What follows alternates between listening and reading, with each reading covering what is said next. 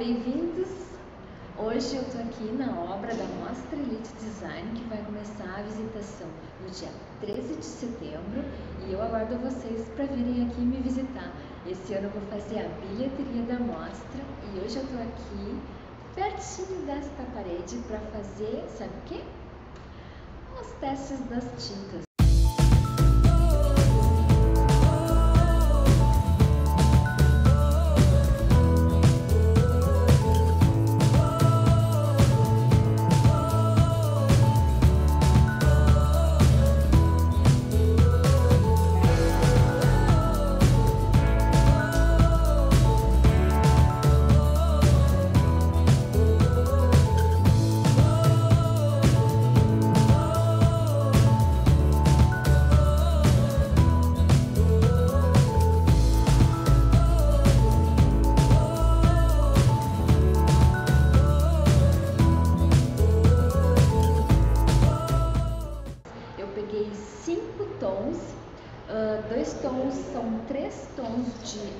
Verde azulado e dois tons de rosa, que é os que estão no, no meu projeto. Esse daqui é um dos rosas. Esse daqui é o outro. O outro verde, né? Esse daqui, outro verde. E esse daqui é o outro. Esse daqui é o que eu tô achando que tá mais azulado, que é o verde que eu queria, mais azulado. Mais, mais azulado, sabe? Mas, por que, que a gente sempre insiste que a gente precisa fazer o teste de tinta? Porque a tinta, quando a gente abre a tampa, eh, ela meio que te assusta porque a cor ela parece um pouco forte. Por que, que isso acontece?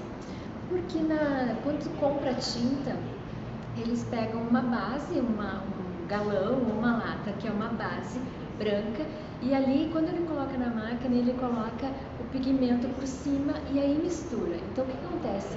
Geralmente o pigmento ele fica por cima, então ele fica mais forte do que a tinta realmente vai ficar na parede.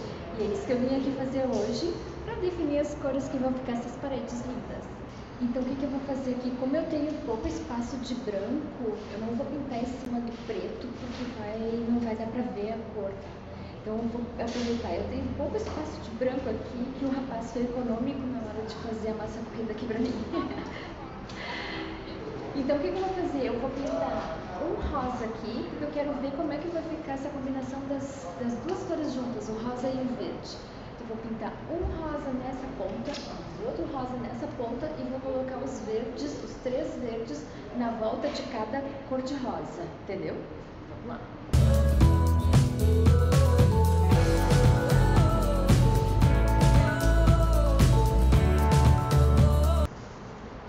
Essa daqui é o segundo tom do rosa. São bem parecidos, né? Mas não são iguais. Por isso é que a gente testa.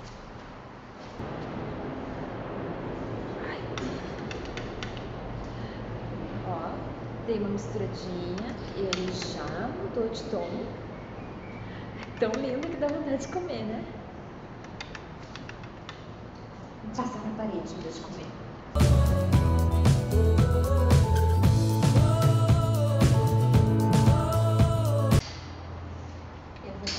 Pelo tom mais verde, o mais esmeralda, que é a cor jade.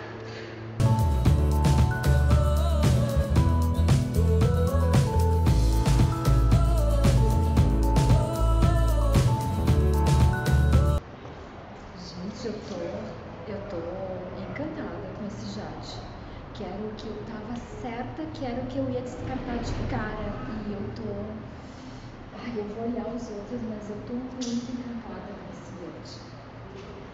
Minha cara, né? Tudo colorido.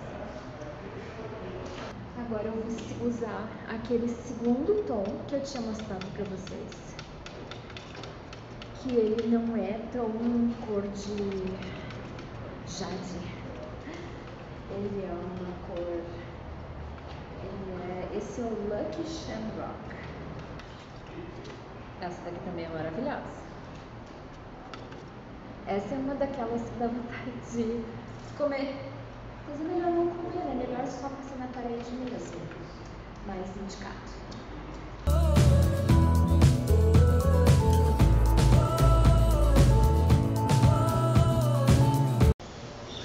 E aí, o que, vocês estão achando dessas cores? Agora nós vamos para nossa última cor. Essa daqui é a cor mais azulada de todas. Deixa eu mostrar ela de pertinho. A luz aqui mudou um pouquinho desde o início do vídeo, porque aqui eu estou num lugar todo envidraçado. Ele é todo de luz ambiente, tá? Mas ela é a cor mais azulada de todas.